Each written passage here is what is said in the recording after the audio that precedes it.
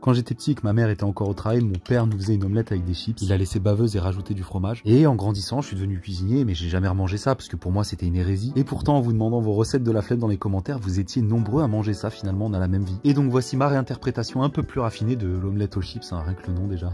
D'abord pour les chips, je vais partir sur des chips fourrés ou des chips farcis. Là j'ai mis un peu de comté, on peut mettre de l'épinard, de la mâche, du saumon. Voilà, je les dépose sur du papier absorbant et avec un seul œuf, je réalise une fine omelette japonaise sans matière grasse. Ça fait comme une crêpe très fine et je la mets de côté. Je fais ensuite bouillir de l'eau dans une casserole avec un saladier en verre. Je mets mes deux œufs et je vais continuer à mélanger jusqu'à avoir des vrais œufs brouillés à l'ancienne. On peut les manger crémeux, moi j'ai poursuivi la cuisson pour avoir un peu de mâche et là je peux vous garantir poivre et muscade, c'est juste exceptionnel. Je verse tout ça sur mon omelette japonaise, je forme une ballotine que je vais découper en tronçons. Mes chips farcis pour le croustillant, toujours une note végétale ou herbacée pour casser le gras d'un plat. Pour apporter ce côté lactique qu'on aime bien dans un plat, je fais bouillir de la crème et du comté, je fouette jusqu'à obtenir cette émulsion. C'était très très bon, léger et gourmand à la fois. Si vous avez d'autres recettes que vous voulez que je transforme, ça sera avec grand plaisir. Ciao